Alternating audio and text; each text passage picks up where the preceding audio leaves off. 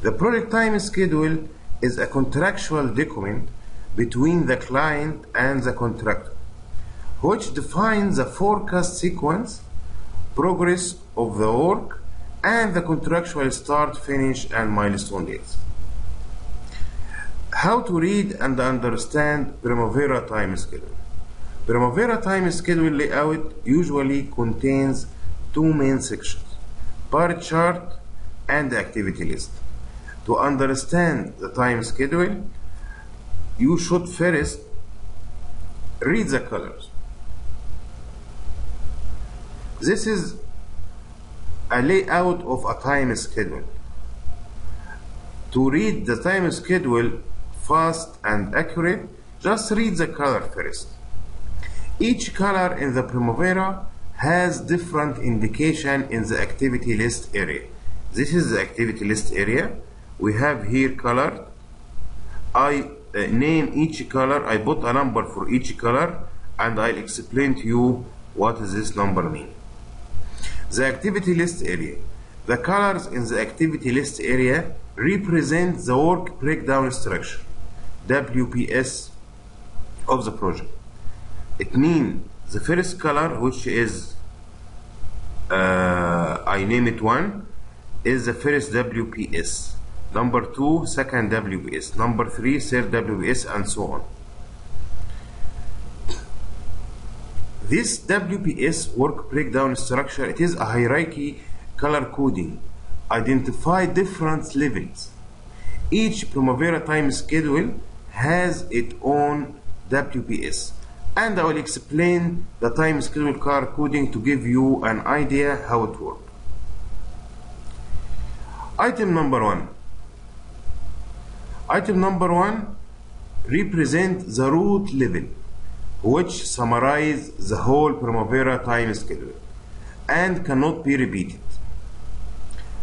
For example, if you want to know the Primavera time schedule overall duration, you should go here to root number one, level number one, and go to the duration column here and read the duration. This will give you a summary for all the levels above i.e. for our example level number 1 will give you summary for level number 2 3 4 5 6 7 and so on.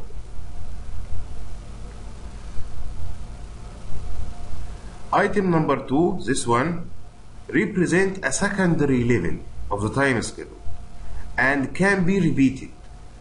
And it summarize whatever underneath until you reach another level 2 for example here we have the level 2 here this summarize from level 2 here until we find another level 2 so this this column summarize between two of uh, two uh, of the same color.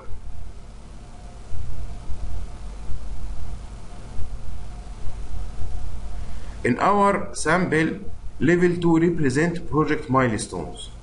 Shop drawing submittal testing and commission so here we have three level two. This one, two, three of the of the same level. Each level summarize this area, and this, this level summarize this area, and this level summarize the area below. Item number three, four, five, and six are, are representing further levels, and each level, which is color, summarize down summarize down direction until you reach the same level the same color again. So between two red colors or two blue colors as you can see here. Of course we'll, we'll know this one in details when we go to Primavera and we'll see how to create this color coding and WBS and so on. So just I'm giving you a very quick idea about how it look like the Primavera layout. Here, the, the uh, uh, item number 7 represents the lowest level in the work breakdown structure, which is the activity level.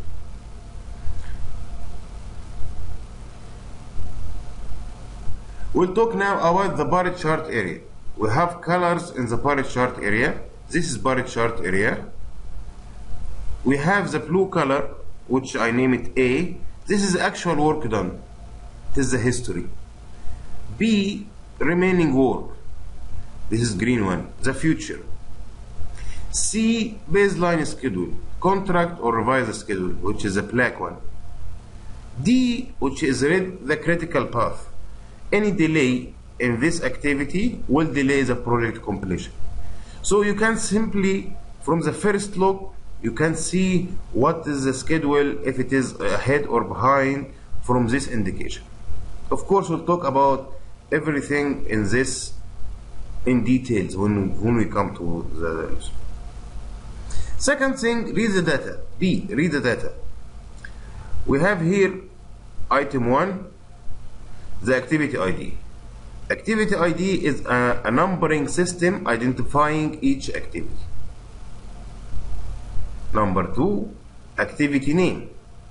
The description of the activity. Number 3, original duration. The period of time required to execute the activity or a summary of the duration required to execute a group of activity under certain level. Number four, duration percentage com uh, complete. This is activity percentage completed from the time point of view. And this percentage complete indicates the forecast completion date, which is in item number 8. This is a forecast completion date. As I mentioned before, this is only a quick uh, view of the uh, Primavera layout, and we will know in details uh, what uh, what does the Primavera look like when we come to this point. Okay, five BL project start. BL is a shortcut of baseline, which represents the planned start as per baseline schedule, and these values are fixed. Column 6 Actual slash forecast start. This is recording of the project history when each activity actually started or forecasting when this activity will start.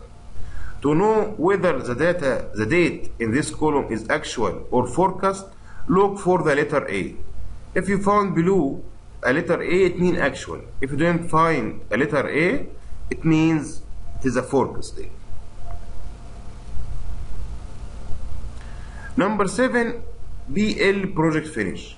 BL again is a shortcut for baseline, which represents the plan finish as per the baseline schedule, and these value are fixed as well. Number eight, actual forecast finish. This is recording of the project history when each activity actually finished or forecast when this activity will finish. So if we found a letter A beside this date, it means actual. If we didn't find the letter A, it means forecast. Column number 9, variance BL project finish.